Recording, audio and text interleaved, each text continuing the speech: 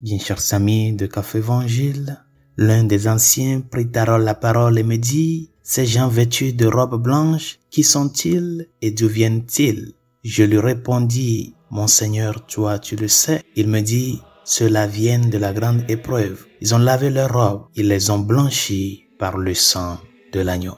Telles sont les dernières lignes de la première lecture de ce jour extraite de l'Apocalypse de Saint Jean en ce jour où nous célébrons la solennité de tous les saints. Cela vient de la grande épreuve. Ils ont lavé leurs robes, ils les ont blanchis par le sang de l'agneau. Chers amis, dans mon pays, il y a un adage qui dit ceci, si tu ne sais pas là où tu viens, au moins il faut savoir là où tu vas. C'est ce que la célébration des saints nous rappelle en premier lieu en ce jour. Où allons-nous? Quelle est la finalité du cheminement chrétien? C'est la sainteté. Et je crois que c'est cette conscience-là, c'est cet éveil de conscience sur la sainteté de vie que nous sommes appelés en premier lieu à travailler de nos jours. Qui sont les saints? C'est la première question que nous devons nous poser. Parce qu'il y a des célébrations dans l'église que des fois, euh, nous les célébrons juste par routine. Mais il faut qu'à un moment donné, nous puissions porter tout là à la vie personnelle. Qui sont les saints? La première des choses que nous devons savoir, tenant compte de cet adage-là que je viens de dire, c'est que tous les chrétiens sont appelés à être des saints.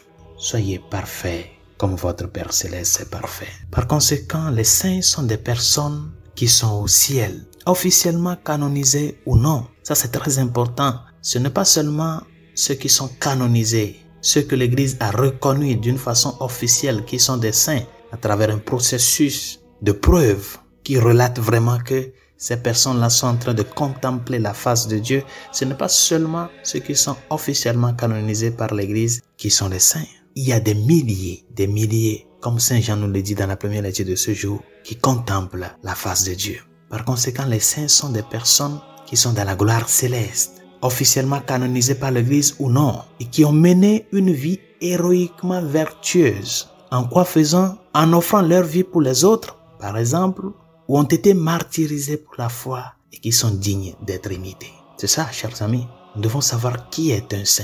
Cette personne-là qui contemple la face de Dieu dans sa vie sur cette terre a lutté de que sa vie soit une vie héroïquement vertueuse en l'offrant pour les autres, en acceptant le martyr pour la foi en Jésus-Christ. Et pour cela, cette personne est digne d'être imitée. Qu'est-ce que cela voudrait dire pour nous aujourd'hui? Qu'il y a une relation intrinsèque entre la sainteté et le sacrifice. Et c'est de cela nous parlent les dernières lignes de la première lecture. Ceux-ci sont ceux qui viennent de la grande épreuve. Ils ont lavé leurs robes et les ont blanchis dans le sang de l'agneau. Il y a un processus, chers amis, dans notre vie comme chrétien qui doit nous amener à sortir de nous-mêmes pour nous donner, pour nous dépenser jusqu'au sang. La sainteté consiste à être capable de boire la même coupe que le Seigneur, d'être baptisé avec le même baptême que le Christ. C'est pour cela, je crois que, chers amis, dans notre monde d'aujourd'hui où il y a se laisser aller, cette tiédeur sur ce qu'est notre finalité, cette banalisation du mal, pense que le mal n'existe pas. Par conséquent, on est, on est devenu froid, froid, tiède.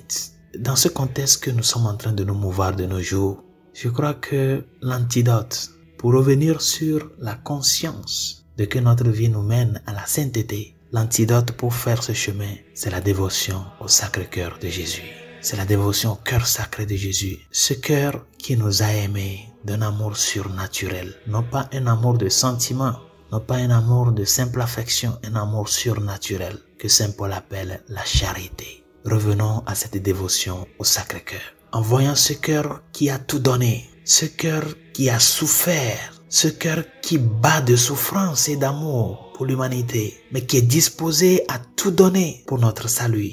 Apprenons à faire chemin avec le Christ à travers l'exemple de Saint François d'Assise, de Saint Ignace de Loyola, de Saint François Xavier, de Sainte Thérèse d'Avila, de Sainte Thérèse de l'Enfant Jésus et de tant, tant, tant de saints qui sont dans la gloire de Dieu, jubilant d'avoir tout donné dans ce sacrifice de vie pour partager cette gloire éternelle dans la sainteté.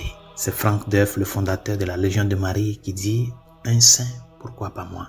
Un saint, pourquoi pas toi? Que la cour céleste des saints intercède pour nous. Bonne journée, Dieu vous bénisse.